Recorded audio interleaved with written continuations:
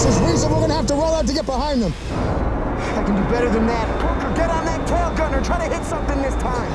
You worry about the flying, I worry about the shooting.